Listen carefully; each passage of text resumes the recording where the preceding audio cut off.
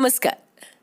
मी Sharvari. Subscribe करा तिचा जागा न्यूज शेजारी दिलेलं बेल आयकॉन म्हणजे घंटी दाबा जेणेकरून तुम्हाला आमच्या साऱ्या अपडेट्स येत राहतील. वाहनधारकांवर सीसीटीव्ही यंत्रणेद्वारे कारवाई ट्रिपल सीट वाहन चालवताना मोबाईलवर संभाषण एकशे तेरा वाहनधारकांवर कारवाई. रंगपंचमी सणानिमित्त ट्रिपल सीट हुल्लडबाजी करणाऱ्या एकोणऐंशी वाहनधारक आणि वाहन चालवताना मोबाईलवर संभाषण करणाऱ्या चौतीस वाहनधारकांवर सीसीटीव्ही यंत्रणेद्वारे दंडात्मक कारवाई करून बावीस हजार सहाशे रुपये दंड आकारण्यात आला आहे. वाहनधारकांनी वाहतुकीचे नियम पाळावेत अन्यथा वाहतूक पोलिसांकडून दंडात्मक कारवाई केली जाईल असं आवाहन पोलीस अधीक्षक दीक्षित गेडाम सांगली यांनी केलं आहे.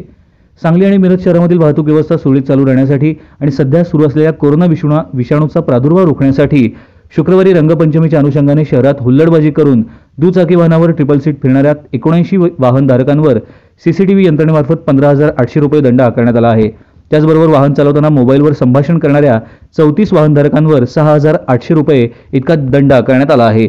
शहरामध्ये महत्त्वाच्या चौकामध्ये पोलीस विभागामार्फत सीसीटीव्ही कॅमेऱ्याच्या द्वारे करडी नजर असून या पुढे पोलीस अधीक्षक दीक्षित गेडाम अपर पोलीस अधीक्षक मनीषा दुबुले मॅडम आणि उपविभागीय पोलीस अधिकारी अजित टिके यांच्या मार्गदर्शनाखाली वाहतूक शाखा यांच्याकडून ही कारवाई जास्तीत जास्त प्रमाणात वाढवण्यात येणार आहे. तरी शहरातील सर्व नागरिक वाहनधारक यांनी वाहतुकीचे नियम पाळावेत. दुचाकी वाहन चालवताना ट्रिपल सीट बसवून वाहन चालवू नये. वाहन चालवताना मोबाईलवर फोनचा वापर करू नये. अन्यथा वाहतूक पोलिसांकडून दंडात्मक कारवाई केली जाईल असं आवाहन पोलीस अधीक्षक दीक्षित गेडाम यांनी केलं आहे. सांगली प्रतिनिधी अतिश आवळे.